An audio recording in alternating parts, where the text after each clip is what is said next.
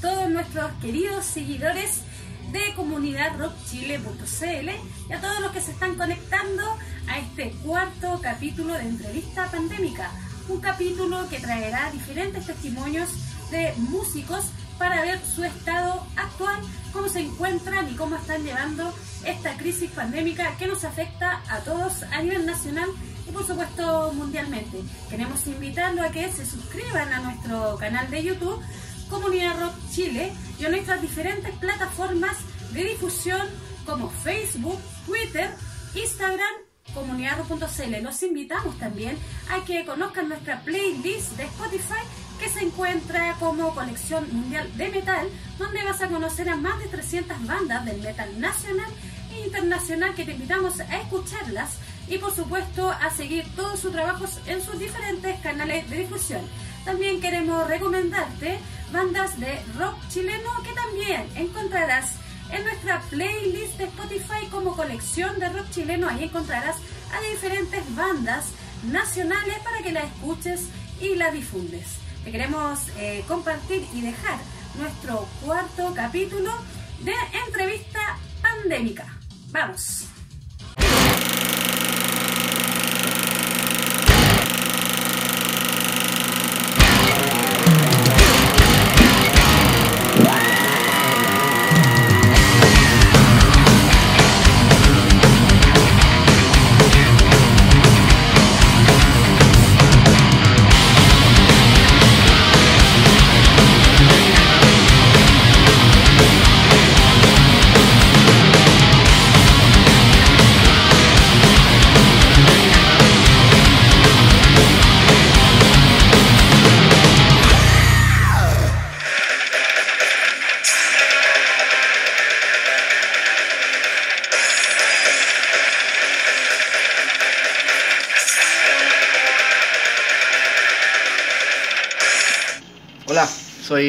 Juan Pablo Baquedano, vocalista y guitarrista de Cerberus. Y nada, pasando la pandemia, eh, no ha sido fácil, yo creo que para nadie ha sido fácil, sobre todo para quienes eh, estamos acostumbrados a la rutina de ensayar y tocar en vivo. Eh, eso es algo que realmente vamos a, se echa mucho de menos. con la banda no hemos podido obviamente juntarnos a ensayar somos de comunas distintas, así que tenemos que, se tiene que conciliar de que todos estén sin cuarentena y que la cosa no esté tan grave, yo creo, para poder juntarse a ensayar. Así que lo que hemos estado haciendo por ahora, cada uno en su, en su, casa, mm, componer, conversar. Yo en mi caso como guitarrista también he estado componiendo temas, el resto de los muchachos también. Y nos vamos compartiendo las la ideas por WhatsApp y vamos tirando alguna idea. Yo creo que básicamente eso y, esperando el momento para poder eh, juntarse, reencontrarse con eh, ese momento tan glorioso que es poder ensayar y ver la batería mería ahí fuerte. Eh, pero por ahora simplemente sobrellevarlo con mucha calma porque esto produce ansiedad, nervios. Yo personalmente estoy trabajando desde mi casa, estoy con mi hijo en cuarentena y he podido ir eh, un poco sobrellevando la situación gracias a, su compañía también, es importante. Y gracias a la música también, gracias a la guitarra y a mis transmisiones, yo también eh, tengo mis momentos de, liberación, así que lo puedo hacer.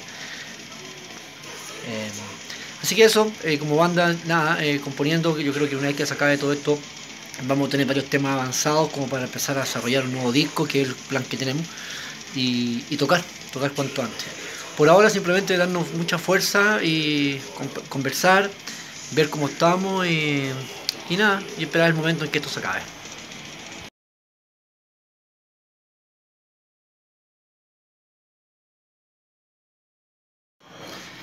Eh, yo creo que por un asunto de lógica, por lo que todos estamos sintiendo, uno tiende a creer de que una vez que todo termine, la tocata, los conciertos y la gente va a recurrir mucho más intensamente a los conciertos. Yo creo que eso es lo que todo, lo que todos imaginamos, porque es lo que yo haría, lo que yo quiero. Yo quiero tocar, quiero ir a ver conciertos de amigos, de bandas conocidas, de, de todos los que me gustan y además tocar yo, quiero ensayar. Estamos todos ansiosos, con muchas ganas de, de retomar todo.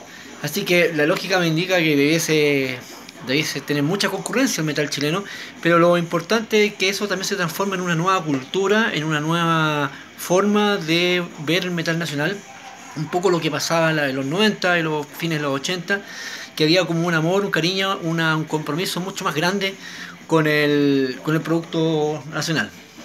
Entonces, yo me imagino que una vez que se acabe la pandemia y todo, debe transformarse un, a ver, a ver, un cambio de chip, un cambio de pensamiento y, y más allá de que vengan bandas extranjeras, eh, que el hecho de asistir a ver bandas locales sea realmente un compromiso y algo importante y que no sea solo por después de la pandemia, sino que se produzca ese, ese cambio, ese vuelco mental, porque ahora mismo estamos viendo que están todos, eh, ahora, ahora que no tenemos las bandas extranjeras, resulta que son todos amantes del metal chileno local.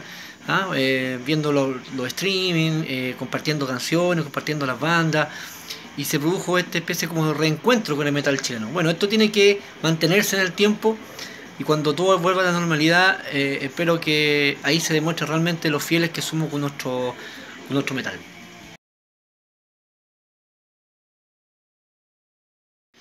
Eh, bueno, respecto de lo que se viene para Cerberus y algún tipo de lanzamiento o algo, la verdad que eso, nuestro plan es poder grabar eh, un siguiente disco y, y obviamente este año que sea los planes han un poco estirados por eso, eh, así que estamos componiendo intensamente para poder al menos comenzar a grabar el próximo año y lanzarlo también el próximo año.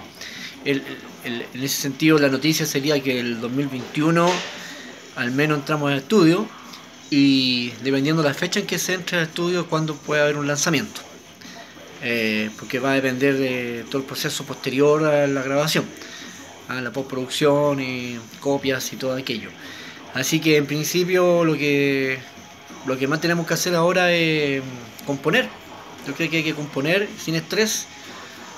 Eh, obviamente si llegamos a, se pasa la pandemia y salen muchos conciertos, vamos a tener que también priorizar un poco y no volvernos locos tocando porque si no no vamos a terminar nunca de componer.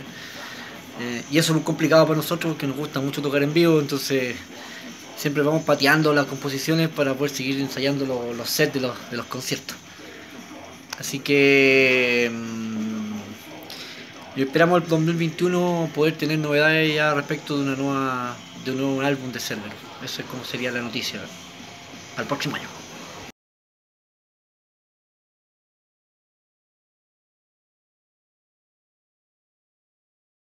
Eh, sí, bueno, efectivamente ha sido una experiencia fantástica el poder hacer transmisiones en vivo, que la que les puse el rugir del cancerbero, eh, todo nació de manera muy espontánea sin querer hacer un programa ni mucho menos, simplemente me puse a transmitir un día tocando guitarra, me puse a hablar de música ahí, eh, después me se me ocurrió llamar a alguien por teléfono con el WhatsApp y mostrarlo en el computador, y gente de la, de la música, gente de las bandas, y de la nada se fue transformando como una suerte de transmisión permanente, eh, más que nada en base a que me llegaron muchos comentarios, que siguiera haciéndolo, que era su entretenido, que esto, que lo otro. Y ahí yo me subí al carro. Eh, lo inicié en todo caso esto como en enero más o menos para promocionar algunos conciertos que íbamos a tocar nosotros también. El del Nelson Iturriaga, me acuerdo, en el Mundo Mágico, el del lanzamiento de Riff. Eh, empecé a promocionar también producciones de música, de discos de bandas amigas. Y ahí empezó a darse la cosa, la verdad que he seguido haciéndolo porque la recepción ha sido extraordinaria. Me, me, conecto con los seguidores de Cerberus de desde Futaleufú, Arica, hasta, hasta el norte, Antofagasta, eh, de todos lados, del extranjero también me han escrito eh, en vivo, entonces mucha gente conectada, mucha gente haciendo reproducciones, entonces ha sido una instancia realmente entretenida, lo he pasado muy bien y ahora con esta cuarentena y estos encierros más que nunca se ha hecho muy importante mantener este esta interacción, además me ha permitido también poder eh, sentir y comprobar el cariño de la gente todavía con, que tiene todavía con Cerberus, conmigo, eh, la fidelidad que existe a la banda, lo que lo conocen, lo que lo quieren.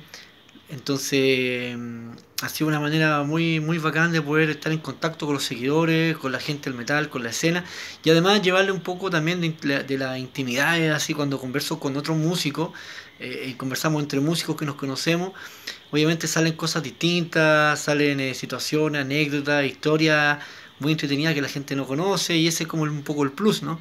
Es como de un integrante de banda a otro hablando cosas de la escena, entonces, y recuerdo, hay mucha experiencia que uno ha vivido en el tocando música por más de veintitantos años, 25 años, que, que obviamente todas esas cosas, historias, anécdotas o cómo uno comenzó, eh, transmitirla a la gente y yo me he dado cuenta además que muchos de esos de esas historias que salen la gente las comenta y les gusta eh, y como que aprende un poco. Entonces eh, he seguido dándole y más allá de si me lo si cómo le va independiente de eso yo lo paso súper bien.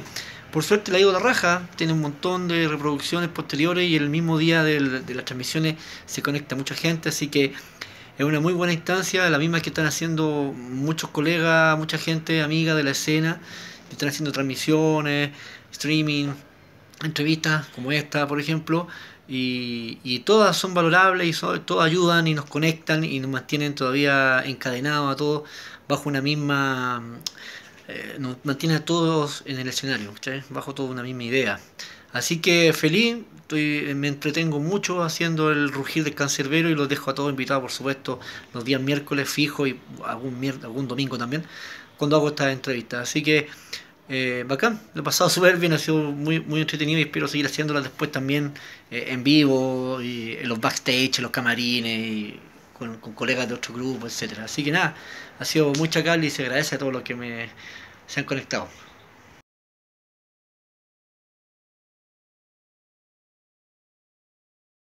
Bueno, ese, esa bueno, es la pregunta del millón, siempre, se, siempre surge de cómo hacer para que la escena crezca, se engrandezca y todos se unan. Yo creo que aquí es, una, es un trabajo de muchas personas y tiene que ver mucho, yo creo que con la actitud y con el real deseo de, o con el real deseo de ver la escena unida. Por lo tanto, yo creo que todos tienen un rol, todos cumplen un rol especial en este, en este mundo. Primero, obviamente, por ejemplo, están los, los, seguidores, los fanáticos del, del, metal, que por supuesto si ellos cumplen su, su, su misión, su objetivo de que el rol del fans es, es eh, adquirir el, material de las bandas y asistir a los conciertos y estar permanentemente apoyando en la medida que ellos obviamente se sienten identificados con lo que están apoyando, no apoyar por apoyar, sino apoyar con identificación y compromiso, ya sea comprando los discos, escuchando el material online y asistiendo a los conciertos. Es el rol de ellos. Eh, en cuanto a los músicos, también debiese haber eh, mucha más unión, en cuanto a que no existan envidias. Creo que el ambiente también es bastante pelador, muy, eh, hay mucho cagüín. Yo al menos con Cerberus muy ajeno a todo eso, creo que eso ensucia harto todo el cagüineo, todo lo que se habla por atrás, los pelambres, las cosas. La verdad que a mí me interesa un carajo el, pelambre y lo que digan de nosotros, de mí, de quien sea. Ni siquiera me interesa averiguar quién fue y por qué lo dicen y nada de esas cosas. A mí la verdad que no me interesa, el que hable, hable. Pero justamente son cosas que le hacen pésimo a la escena. Y yo creo que los músicos lo que tienen que hacer justamente es que no tienen que haber... Eh, tienen que bajarse un poco de la nube. Eh, muchos que creen porque, porque tocan en una banda conocida o reconocida parece sentirse superior a los demás y eso eh, es muy alejado de lo que, tiene que ser un, verdadero eh, frontman o líder de una banda. Eh, toda banda se debe a su público y es el público el que la ha hecho conocida. Así que nadie puede creerse el cuento y pensar que está por sobre las cosas por ser un, líder de una banda. Aquí todos tenemos que querernos, todos tenemos que apoyarnos y tirar para arriba entre todos juntos. Y también están los, productores o managers de los grupos que muchas veces piensan más en las lucas, piensan más en cobrar un gran dineral de plata para que les paguen para sus conciertos al grupo y no piensan en que a veces eso provoca que su banda toca una vez al año. Eh, no les interesa, cobran nomás. Eh, los productores también tienen que unirse, tienen que ampliar su abanico, tienen que pensar muchas veces en, en ampliar el el aspecto de, bandas que toquen, eh, buscar la mejor opción, buscar bandas nuevas que vayan saliendo versus y con bandas consagradas y hacer algunos mix, más que nada para darle una oferta más nutrida, más valiosa a los seguidores y que justamente para que provoque este efecto dominó, si tú así un mejor concierto con, mayor eh, variedad, le estoy dando una oferta mucho más entretenida a los seguidores y los va a encantar más y van a poder ir más. Entonces ellos también, los productores también tienen que abrir un poco más sus puertas eh, para que todo tipo de banda pueda ingresar en su, en su show y, jugársela por eso también, pues no cerrarse, digamos, su propio ciclo, aunque yo también entiendo que hay manager, que hay corrales, corrales me refiero como a, a, gente que tiene cierto grupo de bandas nomás y no sale de ahí. Eh, porque trabaja con ellas, ¿cachai? Los famosos booking que se llaman. Eh, y entonces, si tú das un booking, eh, no sale de ese booking porque tú tienes que potenciar a tu booking y es tu grupo. Entonces, ahí también hay un sentimiento algo personalista en eso.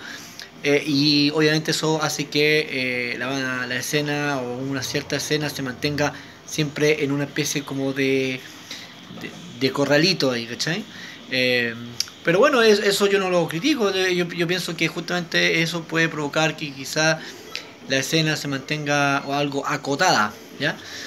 Eh, pero cada uno es libre de hacerlo. Lo que sí yo creo que si todos ponemos de, nuestra parte, desde los músicos, haciendo buena música, componiendo buenos temas y, ejecutando muy bien en vivo, la gente jugándosela por ir a los conciertos y los productores también tratando de hacer conciertos que sean de nivel y que abarque más, más, más banda eh, se logra yo creo una, una, cohesión más grande y se puede engrandecer un poquito más la escena. Es una, una humilde visión, una perspectiva que tengo sobre lo que podría ayudar, yo creo.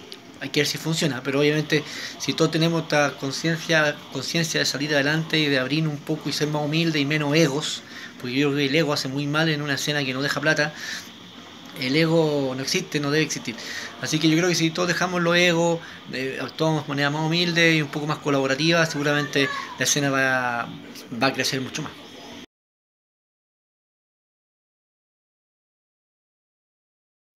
Eh, bueno, mi mensaje a la gente que hace arte, la gente de la música, la gente de la cultura, es que nunca deben claudicar por lo que luchan, por lo que sueñan, por lo que crean. Yo creo que el arte y las artes, las culturas, la música, como una expresión artística también, han sido, son cultores del espíritu de, las personas, van esculpiendo el espíritu de las personas. Eh, yo creo que el arte, la música, la cultura a uno lo va cultivando, lo va engrandeciendo internamente como persona, porque además te abre la perspectiva de eh, yo creo que todo, todo, toda expresión de, que te lleve a crear, todo tipo de creación, te, te, hace grande, te abre la mente a otra perspectiva, en fin, yo creo que son muy positivas para el desarrollo humano, para el desarrollo mental y espiritual de las personas. Así que mm, yo le hago un llamado a ellos a que no abandonen nunca ese, ese sueño, esa pasión, porque yo creo que la mejor obra, la, la mejor canción para un músico, la mejor obra para un, para un pintor, la mejor escultura para un escultor, la, el mejor, la mejor novela para un escritor, todavía no la escriben, todavía no la hacen, todavía no se compone. Entonces, siempre hay un desafío más adelante, siempre hay algo por qué luchar en el ámbito creativo. Así que yo lo invito simplemente a nunca dejar ese, esa hermosa pasión de crear. Y que es la que mueve a todos los que estamos en cierta medida eh, aportando eh, como expresión artística y, en mi caso, en el caso de nosotros como banda, también eh, aportando como aportando música, aportando metal con, los temas que más nos gustan a nosotros. Así que fuerza a todos nomás y no nunca, nunca abandonar lo que más les gusta.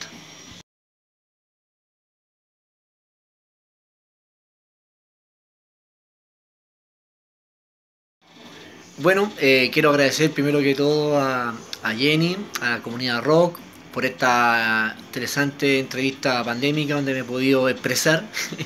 Eh, espero le haya gustado la respuesta y son todas son debatibles. Eh, de eso se trata. Y nada, para que sigan en esta cuarentena y se les pase un poco las ansiedades, les dejo un tema de Cerberus, eh, nuestro videoclip Decimation. Aguante, stay brutalized.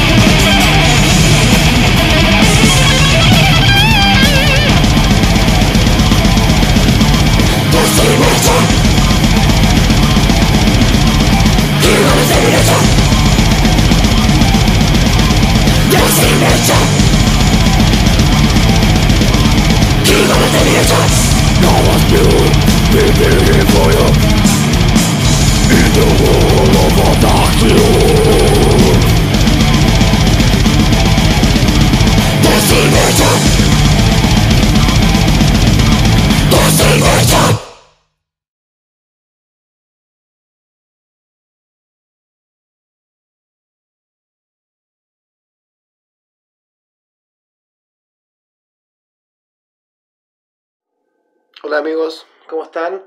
Eh, soy Pablo Navarrete, Pansound para los amigos. Y tengo mi estudio acá que se llama Pansound Studio. Así que están todos bienvenidos. Vamos a hacer una linda entrevista con los amigos de Comunidad Rock, con Jenny. Así que muchas gracias por la invitación.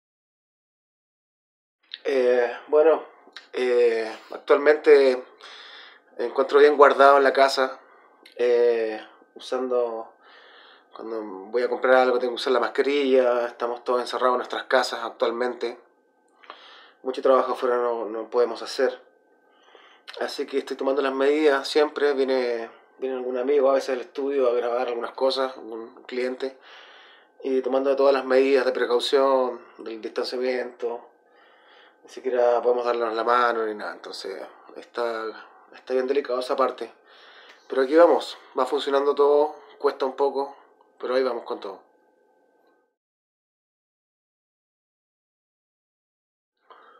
Bueno, con, respecto al estudio, eh, ha costado este último tiempo, porque desde octubre, cuando empezó a quedar la, estallido social, que fue como el 18, algo así fue. Claro, el 18. Eh, todo empezó a parar, todo lo que es eventos y, y, y conciertos en vivo, fiestas en vivo. Eh, afortunadamente yo tengo el estudio acá, entonces no me ha costado de cierta manera sobrellevar esto, porque las bandas actualmente están pensando, lo único que les queda por hacer como banda es grabar en vivo, eh, en un streaming, o grabar un, un single, o eh, grabar un disco. Entonces principalmente se han enfocado en eso y yo tengo el estudio acá en mi casa. Así que me veo bien porque las bandas están haciendo eso ahí también. No nos queda otra tampoco por ahora. Hay que producir, hay que grabar, hay que hacer discos, hay que hacer bibliografía de la banda. Así que pónganse las pilas. Eso vamos.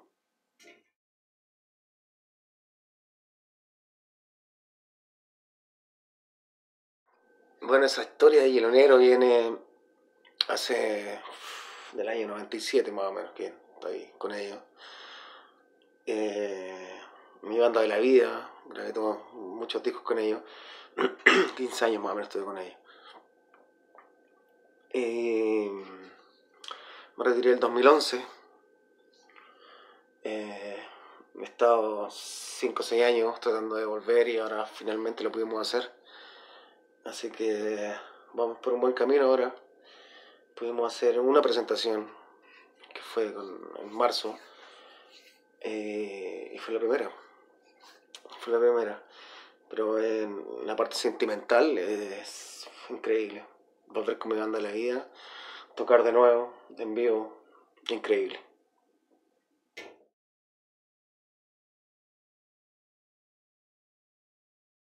Ah, cuando teloneamos a, a, a The Helicopters. Estuvo muy bueno, sabes que fue mi primera presentación desde que me fui en 2011. Y ese sentimiento no lo sentía de que tocaba con ellos en realidad. Fue increíble porque nosotros abríamos ese show, no sabíamos si iba a estar lleno o vacío. Porque como sabes, las bandas soporte siempre eh, van con la gente que llegó nomás en un principio, entonces no, no es mucha gente. Y esta vez eh, estaba repleto, para nosotros al menos estaba repleto. Fue increíble la sensación de volver a tocar con tu banda de la vida. Es muy lindo, así que los recibimientos de la gente, increíble. Los amigos clásicos que veías cuando estabas arriba del escenario, estaban ahí. Así que fue un sentimiento muy lindo el, el haber teloneado ahí. Fue la última tocata que se pudo hacer también. De ahí empezó la pandemia y el encierro y todo eso.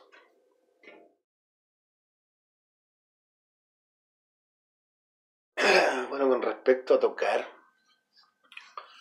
eso es una de las cosas más complicadas que hay ahora. Que se empezó a complicar desde octubre. Porque en octubre eh, se paralizaron todos los días los eventos en vivo, ya no habían tocatas, no podías hacer ningún show, o sea, todos los shows que habían, que estaban agendados hace mucho tiempo, se caían, no podías hacerlo, porque eh, por la estallido social que pasó desde octubre. Eh, y todo eso duró hartos meses, todo eso. Fue hartos meses donde estuvimos todos parados, no sabíamos si se podía hacer el concierto. Eh, no sabíamos eso. Entonces de repente en febrero ya se empezó a, a llenar un poco más de confianza que los conciertos podrían ir más gente, más, más confiada, porque había locomoción de vuelta para, para las casas. Porque si no, no tenían como volverte, entonces nadie iba a los conciertos en ese tiempo. Y en marzo, cuando ya cachamos que más o menos se estaba retomando un poco lo que eran los eventos en vivo, nos cayó esta bomba china, eh, según que es de China la wea. Pero hay un bombazo que es el coronavirus, tuvimos que encerrarnos y ahí siguió ahora. Siguió todo lo que es el, encierro y todo eso. Nos está tomando casi ocho meses desde que se paró a nuestra industria, que es la industria musical, ni de las artes en general. Eh, así que hacer una gira de nuevo un tour de nuevo, yo lo veo sinceramente como para un año, un año más mínimo, donde la gente se va a sentir confiada en poder ir a un concierto.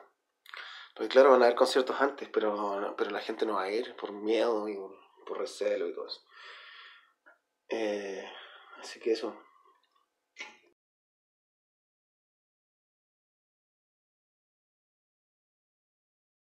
Con la gira que hicimos con Tornafire, con Jenny también. Un cariñoso saludo a Jenny, que, de Comunidad Rock. Estuvimos juntos en esa gira uh, con Tornafire en Europa. y personalmente fue. Era ya mi, cuarta gira a Europa. Entonces, la otra gira que había hecho era con Hielo Negro, tocando en, en Europa. Y esta vez fue haciendo sonido, como, como sonidista, un técnico. Eh, nos tocaron unos lindos, lindos lugares también, la gran mayoría. Y lo pasamos muy bien. Sí, hay muchas anécdotas. Eh, yo sentimentalmente me, encanta Europa, entonces me, me refugio harto allá. Y encantado de, hacerlo de nuevo siempre. allá nos dimos cuenta que, o sea, yo me había, me había visto eso hace mucho tiempo atrás que la música, las artes en, general son muy valoradas allá, muchísimo, muchísimo. Eh, y tienes mucho apoyo del Estado, de todo, entonces todo funciona agradable.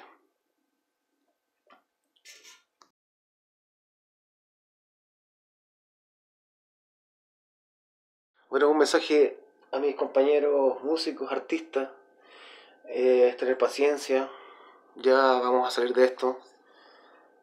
Eh, más adelante no va a ser igual la cosa. Tenemos que tener mucha fuerza y, ayudarnos entre nosotros mutuamente, como país, eh, querernos, apoyarnos. el tema del chaqueteo cuando molesta a la otra gente ya, ya es muy aburrido. porque tienes que, tienen que valorar tus éxitos, tus trabajos, tienen que valorarlos. Así que un abrazo a todos, muchas gracias. También eh, aprovecho de despedirme también de Comunidad Rock, Jenny. Muchas gracias por todo chicos. Bienvenidos a mi casa, a mi estudio. Vengan a grabar cuando quieran. Así que un abrazo gigante. Muchas gracias por todo.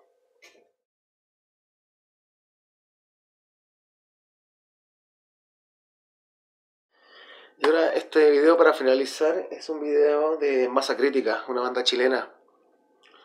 Eh, muy buena, me gusta mucho, se llama, el video se llama Aflicción. Así que adelante estudios.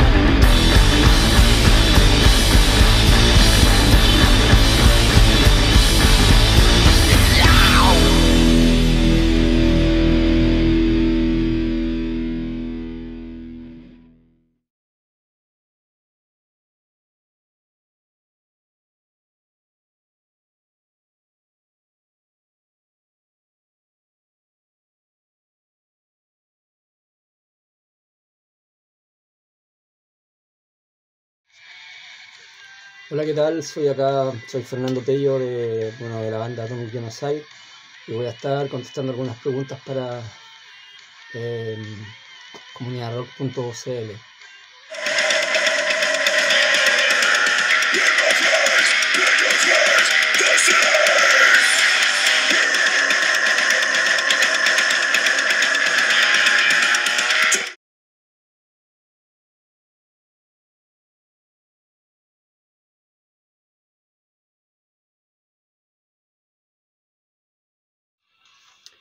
Bueno, yo en este último tiempo he estado eh, haciendo también cuarentena, he estado dentro de lo normal que se puede llamar. Eh, pasando los días, eh, pensando en mi familia, pensando en mi gente, en, en los más cercanos. he estado meditando bastante lo que es esta situación y bueno, esperando también que esto pueda pasar lo antes posible. Así que dentro de eh, tratando de ser positivo, mayormente tratando de ser positivo. Eso les puedo comentar acerca de mis últimos días acá en, eh, en mi hogar. Eh, bueno, yo soy de la comuna de San Joaquín, así que San Joaquín entró en una cuarentena eh, no hace mucho tiempo, así que desde ese momento ya acatando, digamos, la cuarentena acá en el barrio.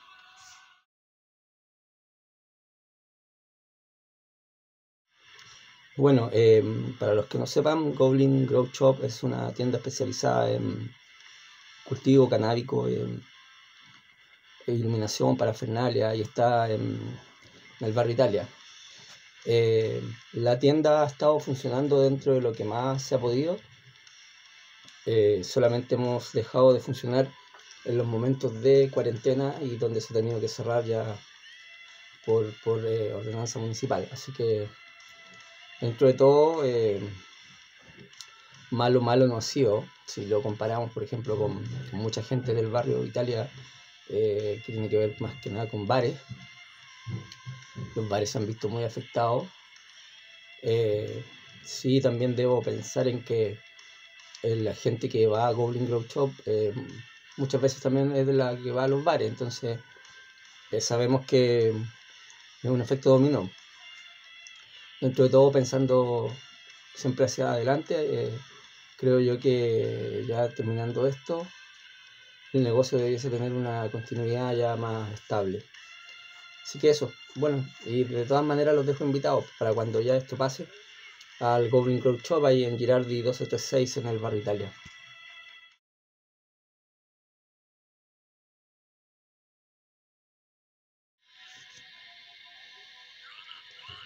Eh, Atomic Genocide está en stand-by en este instante. eh, pienso yo que siempre están las posibilidades de que una banda que tiene harta trayectoria pueda estar de nuevo tocando. Circunstancialmente en este momento no, no es así, pero mm, pienso que también los, los tiempos y las pausas son buenas para poder eh, replantear. Eh, por otro lado, también coincide con todo esto que está pasando de la pandemia y nada más que tratar de ver las posibilidades. Pues.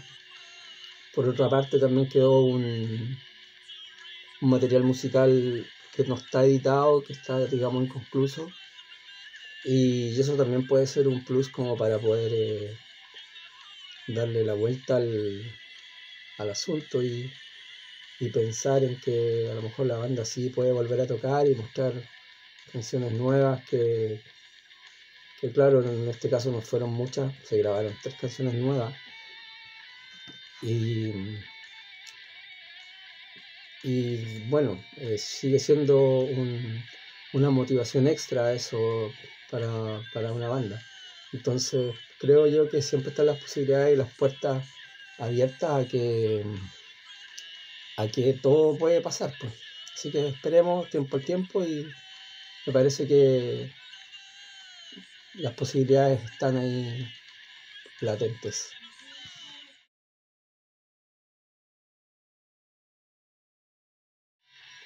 Eh, bueno, nosotros hemos tocado dos veces en Chiloé. Tocamos primero el 2014. Ahí estábamos promocionando nuestro EP, el libro los muertos. Eh, y tocamos después el 2019, el verano antes pasado. Y mm, creo que a nivel banda fue bastante gratificante las dos experiencias, las dos veces. Eh, siempre a Chiloé Metal Fest se le ha criticado por parte de Atomic Genocide, nunca tuvimos ningún, ningún problema. Siempre se nos cumplió con todo lo que se pidió y también siempre fue grato tocar allá. Eh, aparte de, la belleza de lo que es el entorno ahí en Chiloé, eh, lo grato de la gente, eh, los fans también súper locos allá.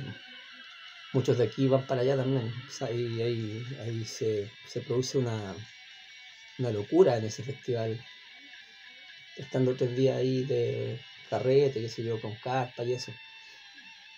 Y bueno, tal vez lo que podría decir yo que yo trataría de, de superar un poquito ahí eh, sería un poco el detalle del sonido, de lo, del backline, tal vez. Creo que el backline tal vez puede ser el punto más bajo. Pero después de todo, igual se hace un trabajo ahí, se, se logra tocar y se hace la pega. La gente lo pasa bien, eso es lo importante también. Y, para mí fue una buena experiencia las dos veces que he ido, así que eh, es más, por ejemplo, este, este verano me gustaría ir también. Tengo otros planes aparte de, lo que es eh, la música solamente, ¿no? Y, y Chiloé es algo que sí te llama y, y te, invita nuevamente a volver. Pues, entonces, más allá que si vaya a un festival o si vaya a tocar, siempre Chiloé eh, te está llamando, es un imán. Así que yo espero volver y también espero volver a tocar alguna vez allá. Pues, eso.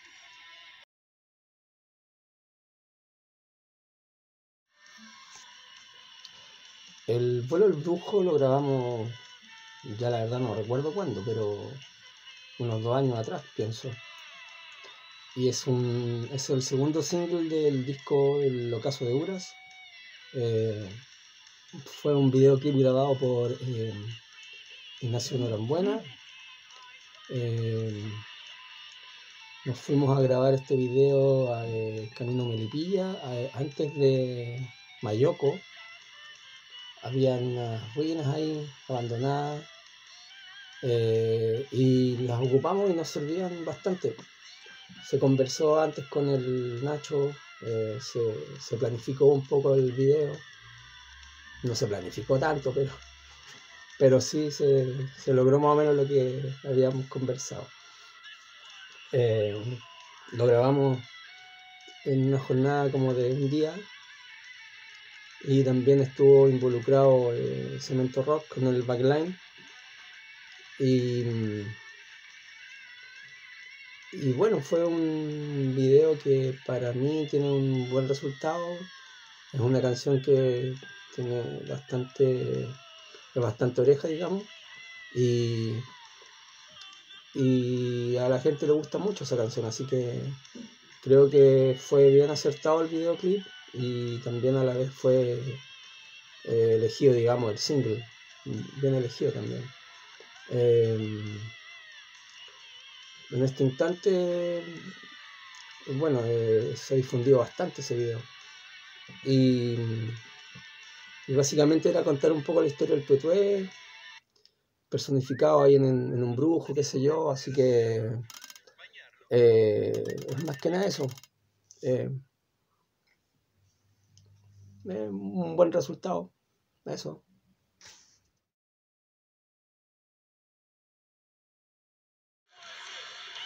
Bueno, más que un consejo, eh, pienso que es algo que va a suceder de manera natural.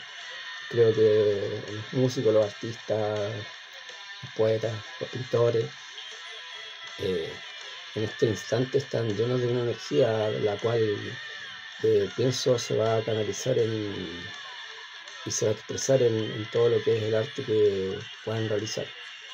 Eh, los músicos haciendo letras, melodías, acordes, qué sé yo. Y, pienso que es un proceso natural. Eh, yo creo que un mayor consejo no puedo dar. Es, es algo que, que fluye, que siempre ha sido de esa forma. Entonces, me parece que el, consejo tal vez podría llegar a ser mantenerse solamente como en su casa en este momento, tratar de, de que esto no, se expanda más y tal vez aconsejar a la gente en, ese sentido.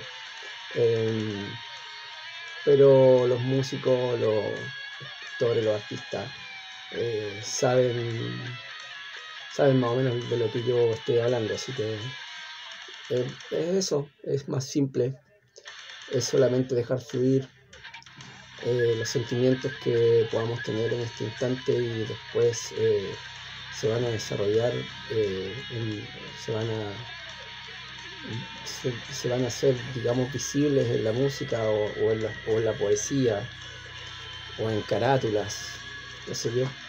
Así que eso sería.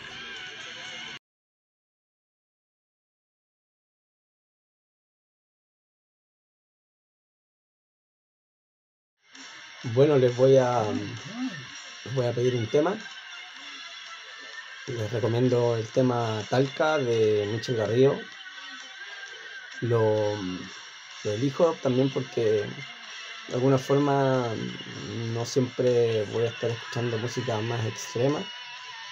Y en este caso, esta canción a mí me, me gusta mucho y creo que es una canción que sirve para pensar, para reflexionar y, bueno, porque también Michel Garrido es un, gallo muy talentoso y, siento que también merece un espacio dentro de lo que es el rock chileno. Y, eso. Y bueno, les doy las gracias también a ustedes, a cada comunidad rock, por eh, considerar eh, a mi persona en esta entrevista y bueno, que les vaya muy bien y que salgamos de esta muy pronto.